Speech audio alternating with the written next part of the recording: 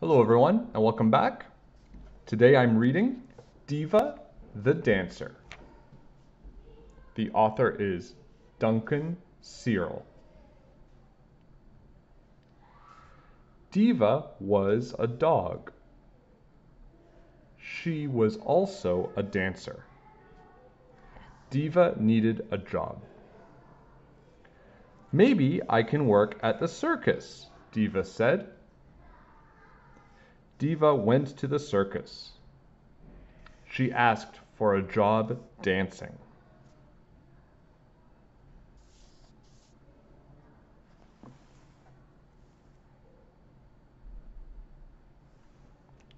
The circus people had only one kind of job. Work up here with us, they said. Diva shook her head. Those jobs look dangerous. I just want to dance. These jobs are dangerous.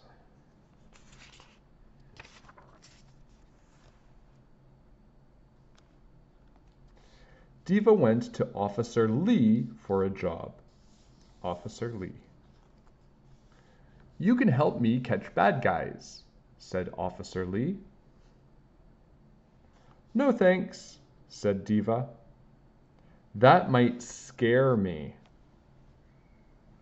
Besides, I want to dance.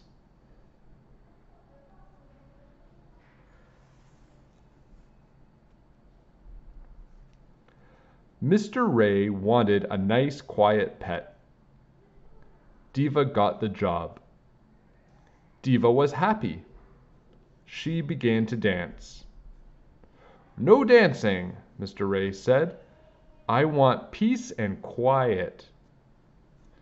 So Diva moved on. She moved on. She did not take the job.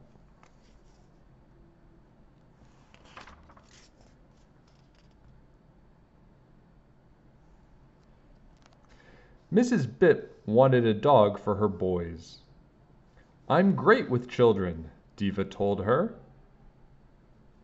The Bibb boys weren't great for Diva. They were always screaming. There was too much noise for Diva to dance. They were always screaming.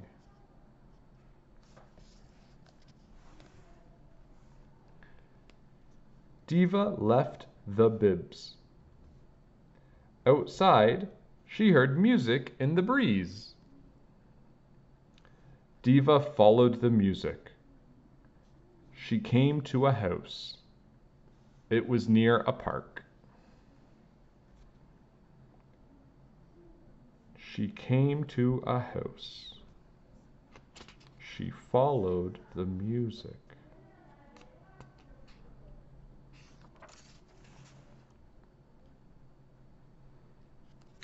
The house was a dance school. I need a helper, the teacher told Diva. Can you dance? Diva began to dance, and she's been dancing ever since. Diva is happy. She is happy. Okay, that was Diva the Dancer by Duncan Searl. I hope you liked it, and I'll see you next time. Bye.